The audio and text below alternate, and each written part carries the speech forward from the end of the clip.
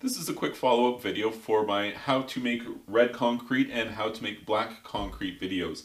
Uh, it said that I would do a, just a quick follow-up to show you the actual finished product that we were making in both of those. And we have those here one at a time. First one is the red.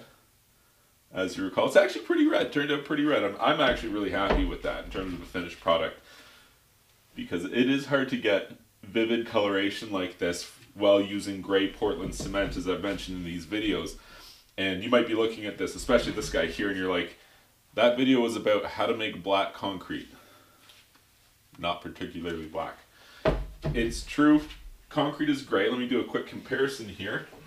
So this would be a regular mortar compared with our, our dark coloration there. Charcoal, they called it for that color. And uh, the truth is, is it is underwhelming, but there is a surprise. With both of these and with any color and with concrete in general, when it gets wet, changes color. So a lot of sealers out there are wet look sealers. So the idea is, is they will make it look like it's wet all the time and that drastically changes the color here. Let's take a look. So like this guy here, pretty darn gray, but when it starts raining, That's a lot darker for sure.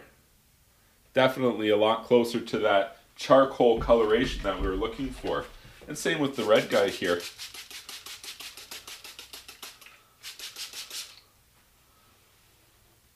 Changes it quite a bit.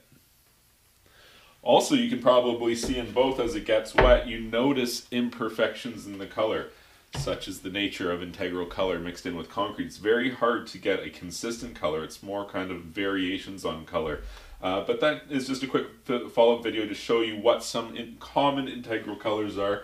Uh, I think these are the ones we used here. Uh, so that's a charcoal liquid pigment and a uh, red liquid pigment. They're both iron oxide integral uh, products, dyes that go in with the, the mix when you make it. They use a very small amount and it is a fairly vibrant color reaction versus the standard gray and just for comparison purposes.